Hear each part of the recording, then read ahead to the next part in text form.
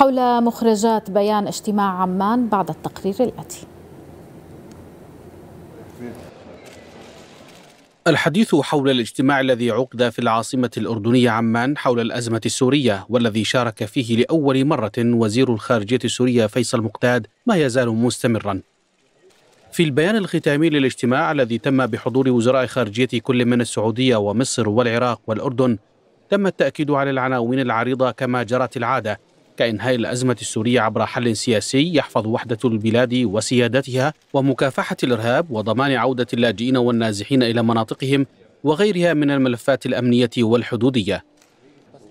لكن وبحسب بعض المتابعين هناك ما يميز اجتماع عمان عما سبقه من تحركات تخص الملف السوري وهو إقرار البيان الختامي تشكيل ثلاث لجان للمتابعة الأولى بمشاركة سوريا والأردن والعراق للتعاون في تشكيل فريق عمل سياسي وأمني خلال شهر لتحديد مصادر إنتاج المخدرات في سوريا وطرق تهريبها والجهات التي تنظم وتدير وتنفذ عمليات التهريب واتخاذ الإجراءات لإنهاء التهريب.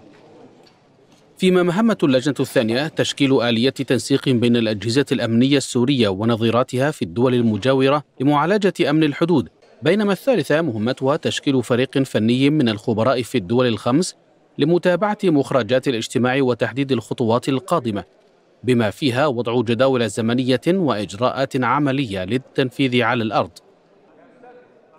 وعقب الانتهاء من الاجتماع بحث وزير الخارجية الأردني أيمن الصفدي مع المبعوث الأممي إلى سوريا جير بيدرسون نتائج الاجتماع التشاوري وأطلعه خلال اتصال هاتفي على مجرياته ونتائجه. كما اتصل الصفدي بالأمين العام للجامعة العربية أحمد أبو الغيط ووزراء خارجية كل من تونس والجزائر وأيضا بالنظام التركي. وأطلعهم على الجهود التي يبذلها الأردن للتوصل إلى دور عربي قيادي من أجل حل الأزمة السورية بما يتوافق مع القرارات الأممية وعلى رأسها القرار 22 54 سوريا في الجامعة العربية قرار عربي اتخذ في إطار الجامعة العربية. حول هذا الموضوع من الرياض ارحب بمبارك العاتي كاتب ومحلل سياسي. أهلا بك سيد مبارك في برنامج حديث اليوم. وأعتذر منك نحن آسفين على هذه الإطالة.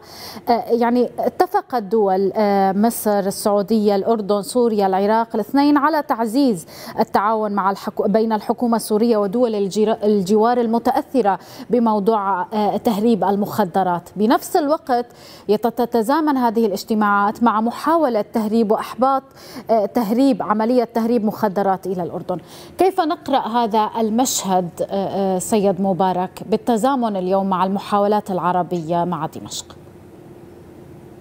مساء الخير. بداية يعني يجب أن لا نحصر قضية العلاقات التي تبنى الآن ما بين المجموعة العربية وما بين سوريا في قضية المخدرات بكل تأكيد أنها قضية مؤرقة وقضية كبيرة حقيقة بيننا وبين سوريا لكن يجب أن لا يختزل المشهد أو يختزل هذه الاجتماعات أو المفتاح والتقارب في مسألة المخدرات. في رأيي أن هذا الاجتماع التشاوري الخماسي يبني لمرحلة جديدة أو فريق عمل عربي أعتقد انه فريق عمل عربي سيتواصل للاجتماع في سبيل وضع خطوات واقعية لا نقول أنها خطوات مثالية، خطوات واقعية تقترب من الواقع لا تتعارض مع مصالح الولايات المتحده الامريكيه ولا مع مصالح روسيا التأكيد دائما أو العمل على أن يسعى النظام السوري لبسط سيطرته على الأراضي السورية لمحاربة الإرهاب ولطرد أيضا الميليشيات الولائيه التي تعمل لإيران أو لغيرها ولكي تكون سوريا أيضا داخل إطار العمل العربي. النقطة الثالثة يعني إضافة إلى المنظور الأمني والمنظور السياسي في اعتقادي أيضا هناك منظور استراتيجي يرى أنه مهم جدا في رايي ان السعودية والدول العربية الأخرى المجتمع يؤكد عليه وهو وهو بقاء سوريا في المحيط العربي وإن لم تقبل في القمة العربية وهي نقطة أعتقد أنها نقطة توافقية ما بين إبقاء سوريا في المحيط العربي وما بين أيضا إرضاء الدول الممانعة والرافضة لعودة سوريا للقمة العربية. طيب كان في يعني مخرجات من هذا الاجتماع التشاوري أيضا في بالطبع اليوم شروط عربية اليوم لقبول سوريا قبول عودة سوريا إلى محيطها العربي. اليوم الكرة بملعب دمشق، ما الذي تنتظره اليوم الدول العربية من دمشق وعلى ماذا تراهن؟ يعني البيان الختامي اللي قرأناه واجمل قراته في رأيي أنه كان بيان واقعي بالفعل وأنا دائما على الواقعية قبل قليل ذكرت أكثر آه، حاليا عندما لم يطالب حقيقة بسوريا بتنفيذ كل المطالب نظرا لأن الواقع حقيقة سيتنافى معها النظام السوري لديه قدرات وهناك مصالح إيرانية، مصالح سورية، مصالح روسية، مصالح تركيا، تصلب غربي، تصلب الأمريكية والدول الأوروبية.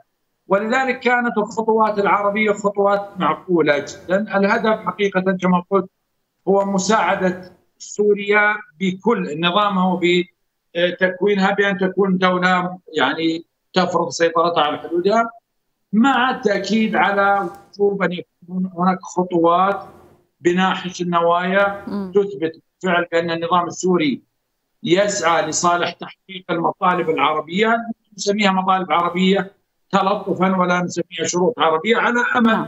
أن نبني مرحلة من الثقة. ما هي هذه الخطوات المطلوبة بالبداية؟ يعني اليوم بما أنه اليوم المبادرة تحت تأتي تحت عنوان أو هذه الاجتماعات خطوة مقابل خطوة وهي المبادرة الأردنية سابقا كانت تقوم على آه، هذا المبدأ. اليوم الدول العربية قدمت خطوات. ما هي الخطوة المطلوبة من قبل دمشق؟ بكل وضوح وشفافية حتى لا لم نرى. يعني أنا كمراقب لم نرى خطوات إيجابية وخطوات عملية من نظام بشار الأسد حتى الآن لكن نامل بالفعل أن يكون هناك عفو عن كل السوريين أن يكون أن تكون سوريا لكل السوريين أن يكون هناك يعني إعلان من النظام بان بالانفتاح على المعارضة السورية وعلى كل الشعب السوري. أن تتشابك الأيدي العربية مع مع مع روسيا في سبيل يعني الإسراع بوضع آلية من شأنها أن تجمع المعارضة السورية مع النظام السوري أن يكون هناك بارقة أمل لعودة الشعب السوري والمهجرين واللاجئين السوريين إعادة الحقوق أيضا للشعب السوري. أعتقد انها مطالب وشروط بالفعل يجب على النظام أن يسعى لتحقيقها. ومع ذلك أرى أن الدول العربية تؤمن بأن الانفتاح على سوريا جدير باستمرار النقاش، استمرار الحوار وأن استمرار وضع سوريا بحالة عزلة أعتقد أنه لن يؤدي إلى حل أي ملف من طيب آه، آه، يعني آه، ذكرت عدة نقاط منها إعادة سيطرة اليوم الحكومة السورية على كامل الأراضي السورية وذكرت نقطة بأنه أن يتقبل اليوم أو تتقبل الحكومة السورية مسألة المعارضة.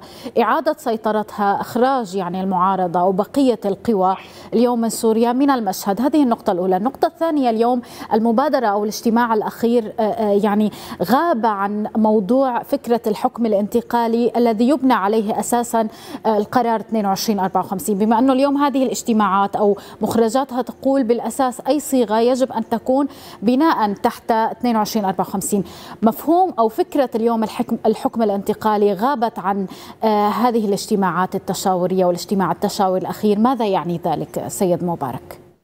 بالفعل أنا قلت في بداية حديثي بأن البيان كان واقعي لأنه لم يطالب حقيقة أكثر مما يمكن تنفيذه حتى لا تفشل هذه الاجتماعات. ولذلك عندما أقول الواقعية آه، بأن لا يكون هناك شروط عالية جدا واتفقنا على أن المبادرة الأردنية هي خطوة بخطوة، اليوم مطلوب من النظام السوري بالفعل أن يؤدي أن يقوم بخطوة على الأقل. تثبت بأنه ينوي التفاعل الإيجابي مع ما خصوصا أن الوزير السوري شارك أول مرة في هذه الاجتماعات.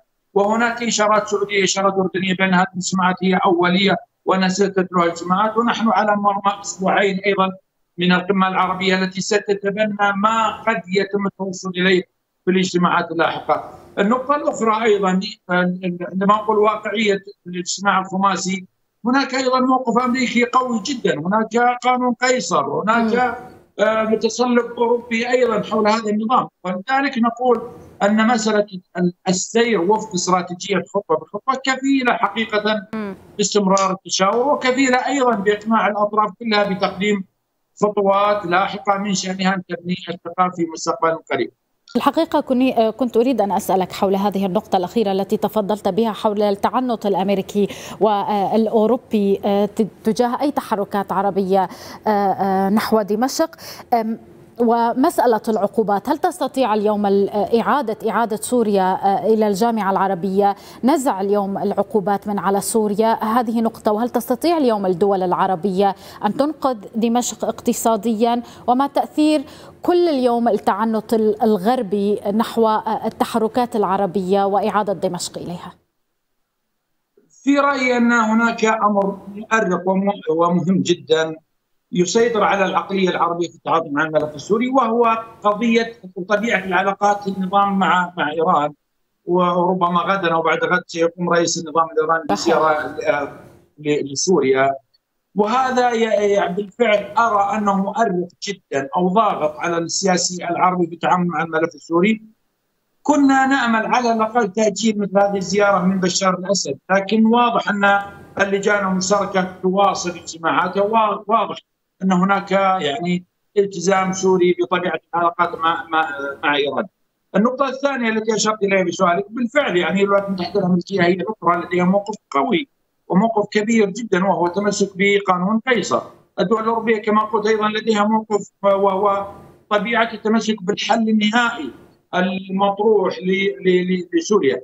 لكن لكن أرى أن هناك عمل عربي أو سعي عربي لأن يكون هناك مبادرة عربية ربما تحظى بتأييد ودعم صنع الدولي لاحقا لكن الأهم هو إنضاج هذه المبادرة العربية وضع الأطر أو تهيئة آه، يعني الأرض التي تسمح بإنجاح هذه المبادرة قائمة كما قلنا على خطه شريطه تفاعل النظام ايجابيا مع هذه المبادرة التي أشرت إليها أيضا طبيعة رفع العقوبات عن عن سوريا. أعتقد أن الدبلوماسية العربية أو بمعنى باختصار الدبلوماسية السعودية كفيلة بحل قضية هذه العقوبات فك بعض هذه العقوبات خصوصا العقوبات التي لم تفرض عن طريق المتحده ربما يكون هناك أخذ ورد حولها لكن الأهم هو أن النظام بشار الأسد يسعى بخطوات يعني تؤكد على الجانب العربي أو تعطي للجانب العربي بصيص أمل بانه بالفعل سيتفاعل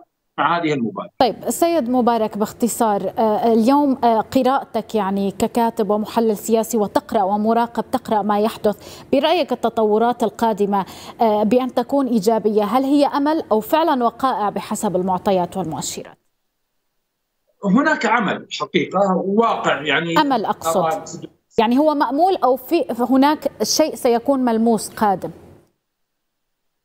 أرى أن هناك شيئا ملموس يتم طبع الإعداد له ويتم طبخه حاليا وعملية الرضا التي لمسناها حقيقة في كل الاجتماعات السعودية السورية العربيه السورية الاجتماع في عمان بالفعل يبدو أن هناك يعني طبخة عربية سورية يتم الإعداد لها. هو الأهم الا نكسب دولة على ونخسر دولة عربية أخرى. ولذلك أرى أن هناك تفاؤل كبير بأن الملف السوري سيشهد تطور عربي مهم اما إما في القمة العربية أو بعد. أشكرك جزيل الشكر على كل هذه القراءة من الرياض مبارك العاتي كاتب ومحلل سياسي. شكرا جزيلا لك من جديد. مشاهدينا فاصل قصير ونعود لمتابعة الملف الثالث لحديث اليوم